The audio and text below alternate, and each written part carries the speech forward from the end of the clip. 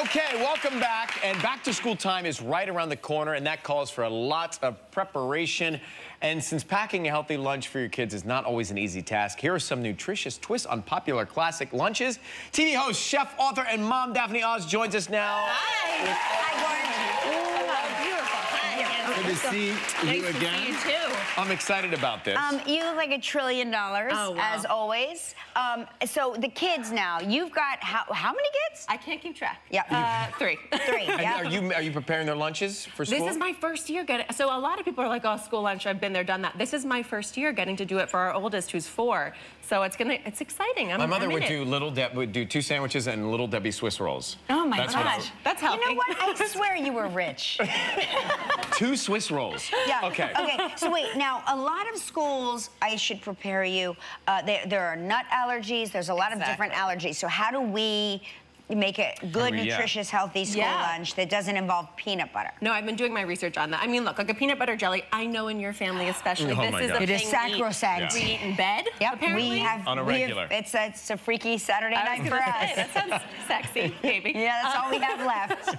You'll see, it's all ahead of It's you. 20 years from now, you'll be in peanut butter and jelly land too. We're having our eight-year anniversary this year, so Oh, maybe I'll introduce peanut butter in hmm? bed. You never know. Yeah, you never So we have the white the white bread peanut butter This is the jelly. That's traditional. the traditional. Mhm. Maybe a little ho hum. People have seen it a lot before. I'm going to suggest a way to do it that is a little bit healthier with the bread. So we're going to use a whole grain um, cinnamon raisin here. So still a ton of flavor. So Kind of yummy. fun and Yeah. yummy. A little bit of sweetness also. We know kids love that. Then we're going to use this sunflower butter, which Kelly you were looking at before. yeah, I've never seen this So before. check this So is out. it lower in fat? It's not that much lower in fat, but it doesn't have the same inflammation qualities that peanut butter can have. and Yes, it's not right. the allergy, right? It's made from seeds. So some kids have seed allergies, but not as much as the peanut allergy everyone's worried about. So this is a great way to introduce a new kind of butter. You can make it at home. It's super inexpensive just to buy bulk sunflower seeds mm. and grind them up in a food processor. Wow. Throw some flax seeds in there for a little boost also. And then do we add? Stick to your So tongue here's just the like deal. peanut butter. This Okay. is now I'm gonna add a little bit of raisins right on top, and this again gives you some sweetness. You can control the sugar this way too, because jam, you know, you can pack it with so much sugar.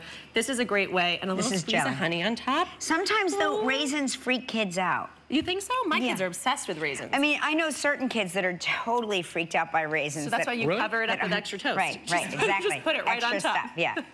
Mm, Tell that kids they great. can't open it up. They just cover it right, Right. up. Mm-hmm. That looks better to me than the original anyway. Okay, take a bite. Take a whole bite out of that. Go ahead. Jump. Go ahead. Come on. Right, right, do it. Come on. I like it. Hey, Daphne, guess what? You That's like? good. That's delicious. That's good. Delicious. You guys should make that mm. right now. So a little good. sunflower butter brings the brings the mm. love mm. around. Okay. How about some ham and cheese? Follow that up. Right? Everyone's had this ham and cheese sandwich in their lunch I'm box at bored. some point. Boring. Bored. So Conventional. bored. Here's what we're gonna do. We're gonna make a quesadilla, ham and cheese quesadilla Oh, instead. quesadillas. But here's the other trick. A lot of parents will have paleo um, quesadilla or tortilla wraps like this in their cupboards for themselves.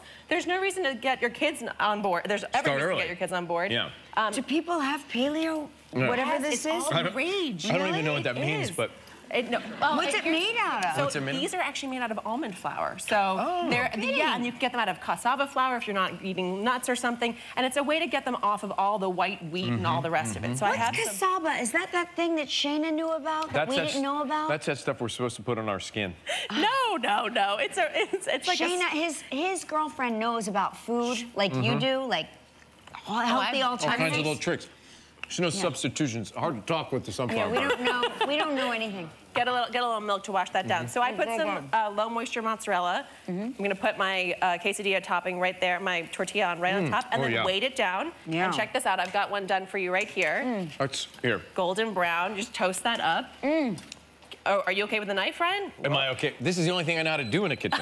All right, you get to it. He's got amazing knife skills. And here's one little trick. If you're sending warm sandwiches to lunch with the kids, Yeah. let it cool a little bit, then wrap it in tin foil, and you can tuck it in a thermos, and it'll stay warm so that it's nice and ready for them when they have lunch, a hot lunch. I Ryan, you told me you were good with a knife.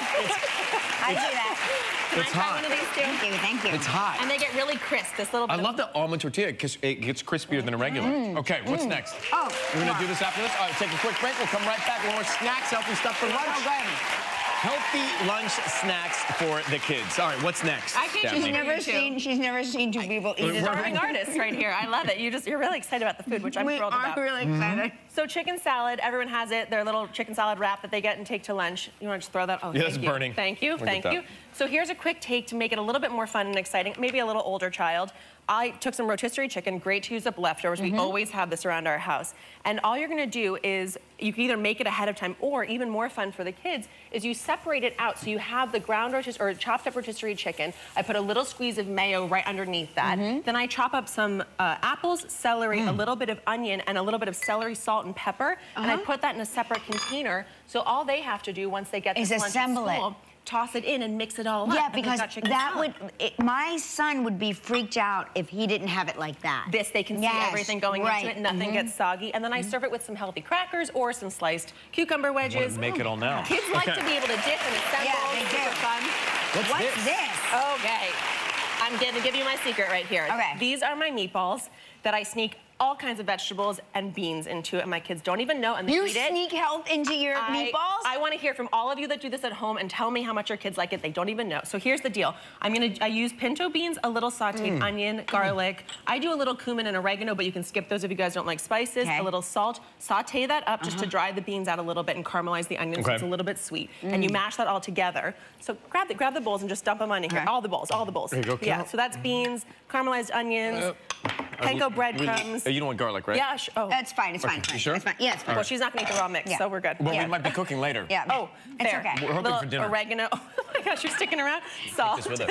And then I, oh, can you crack an egg? Yeah, I can. Okay, let's I do it. I know That's it's, me. it shocks everybody every time Can I you? do it. Oh, she can. Here we go. Okay. Yep. And all Mix we do up. is mix this up. And here's the tricky part. You can now grate in some zucchini, which everyone has. End of August, it's like you can't get rid of the things.